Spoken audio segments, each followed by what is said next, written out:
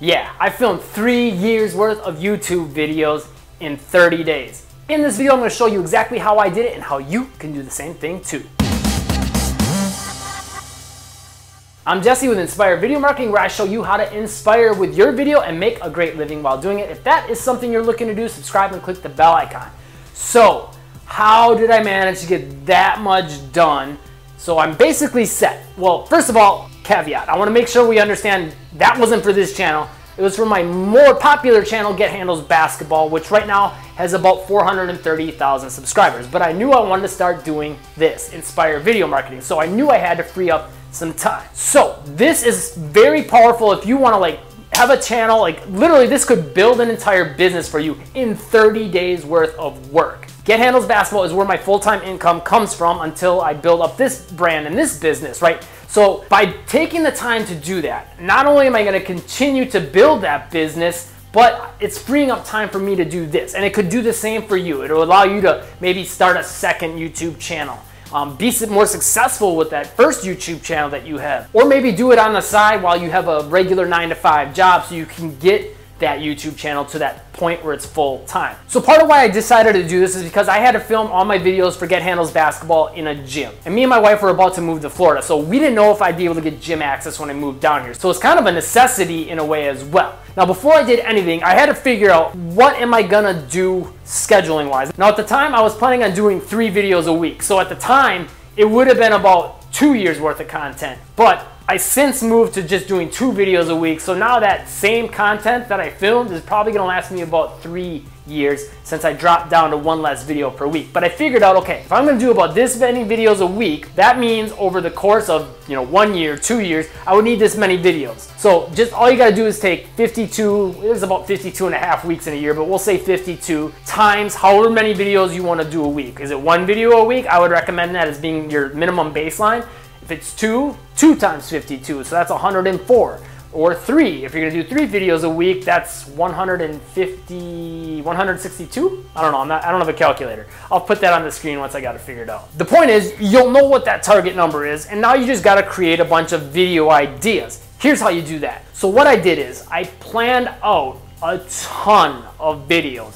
So how would you want to go about doing this? Well, there's a lot of tactics that you can go about it, coming up with different content ideas as far as uh, videos you think you will do well and suggested, ones that you think just have the potential to maybe you know go semi-viral or even potentially actually viral by just being a really interesting topic. Or, of course, you could always go the search engine optimization route. Now, if you want to get more in depth as far as like how to come up with a lot of content ideas. I'll have a link in the description down below for a video that covers that. But at the end of the day, you need to do a lot of planning. Now, here's the best way I recommend you go about that planning to make it happen more quickly and just to come up with some really good, unique, and interesting ideas that will allow you to get videos that actually perform well. You don't want to just make a ton of content that's not really optimized to perform well, whether being you know interesting or search engine optimized or suggested engine optimized. If you don't have those pieces in place and kind of have an idea of you know how to like make those videos perform well, then you're kind of just putting in a lot of time for nothing. So you got to make sure that piece is in place. But with keeping that in mind, what I recommend you do is just set aside some time.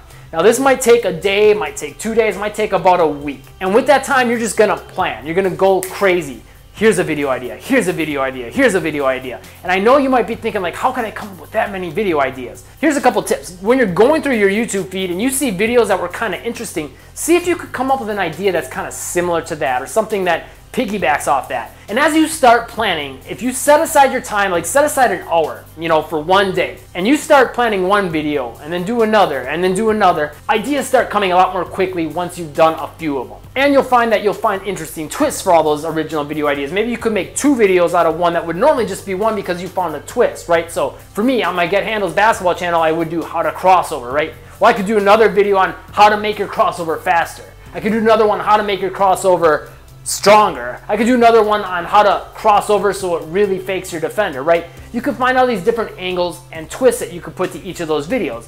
Or maybe you could figure out ways to combine different concepts together. So maybe another video I came up with would be how to do a different type of dribble move, right? And I could talk about in another video from that how to combine that other dribble move and the crossover. So you can see how these things can remix with each other And as you take the time and set aside the time to plan, all these ideas will just come much more quickly. Now you'll want to start with again a few different types of ideas. So you could, you know, use inspiration from different YouTube videos that you're seeing or typing a few things into the search bar and seeing what comes up. And then from there, say, okay, this is one thing I could do. Write that down in your notes. And that's what I do. I put everything in my notes app on my iPhone. That's how I went about it. And then from there, you'll come up with idea, idea, idea, idea, right? And from bringing those ideas together, you come up with all kinds of little twists, variations, concepts that will feed off of each other. But it's key that you set that time aside. If you don't set that time aside, you're gonna have a really hard time getting the content necessary. After I had all those video ideas planned out, next step was, of course, I had to go film them, right? So once I did a few filming sessions, I kind of figured out, okay, I can get about this many videos done in this amount of time. And I would figure out like, if, if I had like four hours worth of time that I could set aside to film, and I would be to the point where in those four hours, I would get like 11 done, I would always try to get 12 done. So that put me on the pace of having about three per hour. So three in the first hour, six by the second hour, nine by the third hour, and then by the end of the fourth hour, I should be to 12 videos. And if I wasn't quite to 12, if I was at 11 and I had like 10 minutes left, I would just figure out something quick that I could, you know, rip out real quick where I'm just maybe talking to the camera, not demonstrating basketball moves. Now, that was the big thing was that I made sure I was staying on schedule. Like if I was behind on hour one, I would know that. I don't have quite three videos that I got to pick up the pace. Or if I had four done in that first hour, I was like, sweet, I'm, I'm ripping them out. I'm doing really good. I'm kicking some butt and getting these videos done. I'm doing awesome. Let's keep this pace going. And maybe I can get 13 done today and get ahead of schedule, which I did quite a bit. But the more you do this filming, you'll get an understanding of, okay, about how long it takes you to make a video. So from that, you can say, okay, I need to get to the gym or I need to set up time to film for this amount of time, right? So you know that you got to find a quiet space, get your lighting, make sure you've got your mic and all that set up. You've got enough battery in your camcorder, you've got your memory card, right? All those little things, you'll start to make sure that those are prepared. If you don't have what you need, you can go buy another memory card. That's what I did. I bought another memory card to make sure I have enough memory. I made sure I had some extra batteries that I got on Amazon, and it was worth it. Like, yeah, it costs a little extra money, but now it's like I've got my next three years worth of content ready to go. So the amount of time it actually took me to get that many videos filmed was I I split it up. So I didn't go to the gym and film every day. Now, if you're doing something where you're not doing something physical, you could probably literally do this every day. It took me about two and a half months going three to four days a week to the gym for about four hours each. And most weeks I typically did three days. So 12 videos in one day, Next day I'd be at 24, next day I'd be at 36. That's 36 videos in just one week from going three days a week. Now, if you're doing more talking head videos like this, you could probably bust out even more than that in a week. You could probably film every single day and do four hour sessions and get like seven days done. And if you're getting 12 videos done in seven days, boom, you, you could get like almost a year's worth of videos right there. But all in all, the actual amount of days that I filmed, it took about 30 days to get three years worth of content done. Now, if you need help with coming up with content ideas, this YouTube video is gonna show you exactly how to do that. Hopefully this video helps show you a process that can help you free up a bunch of time and get your channel growing. Subscribe and click that bell icon to catch the newest videos and I'll see you in that video next.